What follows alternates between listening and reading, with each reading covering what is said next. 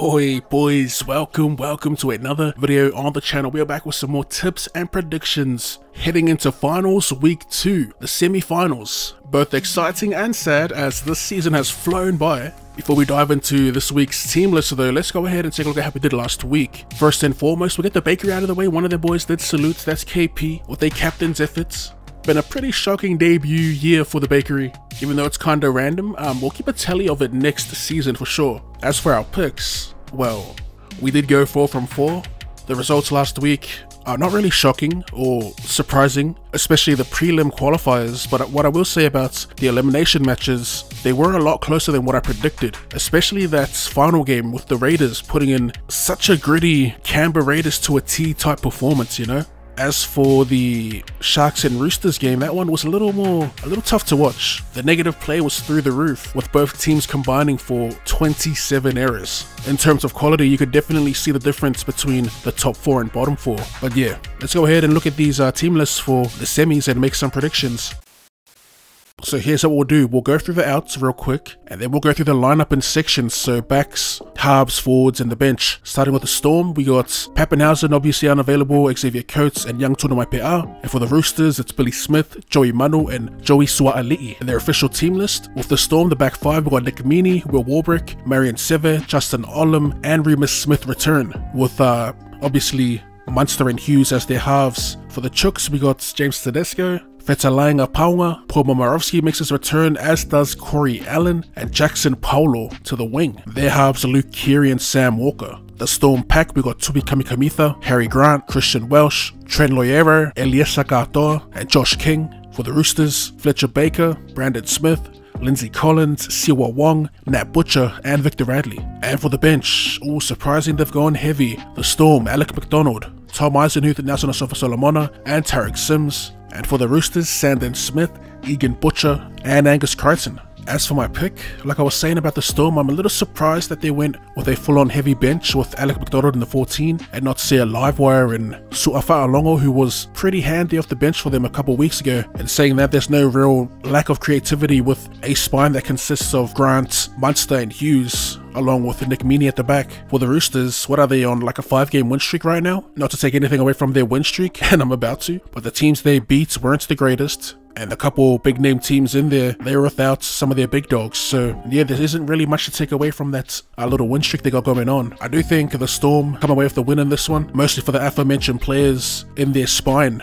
If the Chooks win this, it'll be on the back of Lindsay Collins and Victor Radley, but yeah, I don't see that happening. Uh, I'm gonna go for the Storm here. Back at home, I'm actually gonna go 13 plus. And for the bakery, we're gonna go ahead and throw Cam Munster on the list.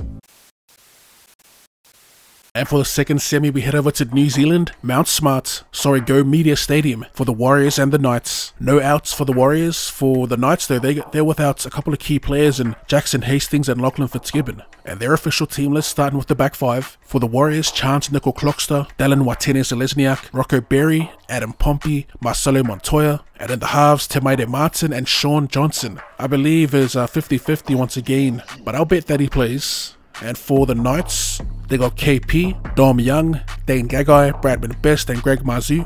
A full strength back five with Tyson Gamble and Adam Clune stepping in for Jackson Hastings. Moving on to the engine room for the Warriors, we got Addin Fonua Blake, Wade Egan, Mitch Barnett, Jacko Ford, Marata Niukore, and Tohu Harris. And for the Knights, we've got Jacob Saifiti, Phoenix Crossland, Leo Thompson, Tyson Frizzell, Dylan Lucas steps in for Fitzgibbon, and Adam Elliott at 13. And for the bench, the Buller brothers, Dylan Walker, Jazz Tevaga, Bayley Sironen, and Josh Curran.